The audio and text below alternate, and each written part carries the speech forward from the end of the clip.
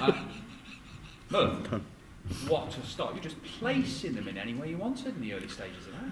Yeah, you, you get things like that. I mean, um, they were doing that for the last hour in practice, so uh, I was just hoping that, that it would carry on up there, and it did. Unfortunately, I lost it a little bit and allowed him back into the match. If that had carried on, I think that might have been 3 0. But Well- who knows? The wonders of set play, even when you're dominating for large periods, you can suddenly go, hang on, drawn level here. It's a dangerous game, isn't it? Yeah, I mean, and Max is a dangerous player. I mean, he, he's um, he can play the game and he can play the game to a very good standard. So uh, you know, you, you can't really afford to, to let him back in, which I've done. Nearly paid the price. You come here to this William Hill World Championship having just made another major final. A couple of months ago, you had genuine concerns about where your form was and what you were going to achieve.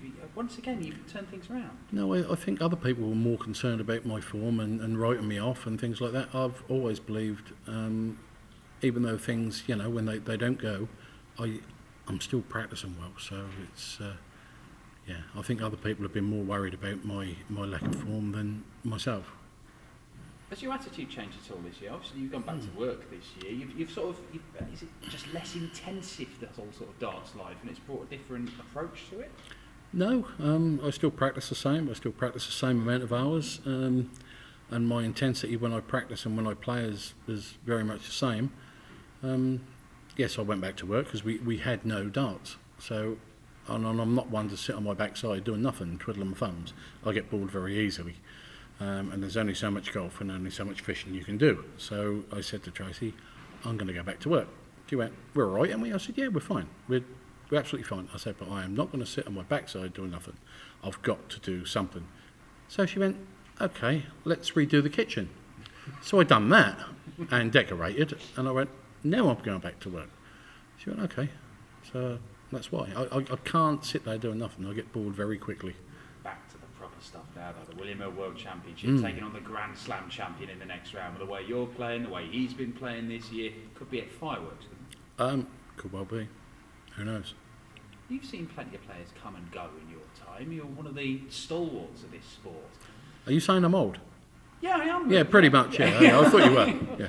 But has it surprised you how Jose de Sousa has almost come from nowhere? To He hasn't come from nowhere. He hasn't. He's he's been doing it on the on the floor tournaments, and he's gradually been getting better and better and better and going up. And everyone that watches him play does not want to play him, me included.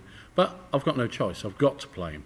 So he's getting everything I've got, and if it's enough, happy days. If it isn't, well, there you go.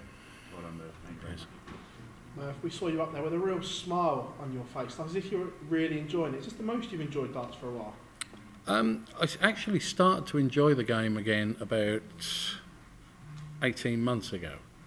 Um, I, went through, I wouldn't say the doldrums, not, not through form, but oh, I've got to go and stay away from home again. Um, and because we play so much, it, it was, I'll sleep in another hotel bed and I'll stay away from home again. And, and it really, really does get to you. You know, everyone thinks, oh, you're living the dream and, and all this. Just try it for six months and see how you like it. You know, I mean, it's not just the players, it's all the guys that do the rigging and, and everything else that's involved with a major tournament.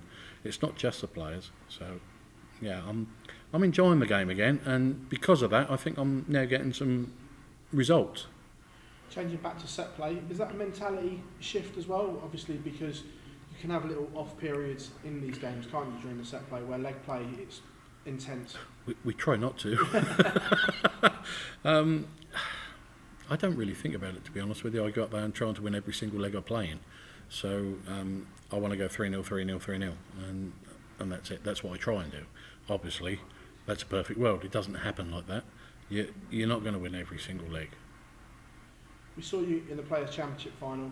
Not too happy with Michael's celebrations. Was that nice to play in a game that didn't have it? And do you think players are over, not just Michael, but in general, are over celebrating too much? Yes, I do. Um, to be fair, it, I, I can understand the celebrations at a pivotal time in the game, a big shot, and, and maybe break somebody to um, win that set or, or, or break someone's throw to give yourself a, a chance to, to win the match.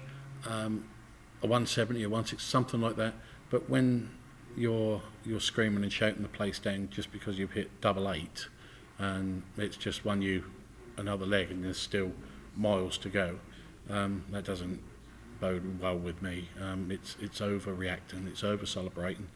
Um, but there you go. It's it's that's my opinion on it. That's the way I feel. Other players will be different.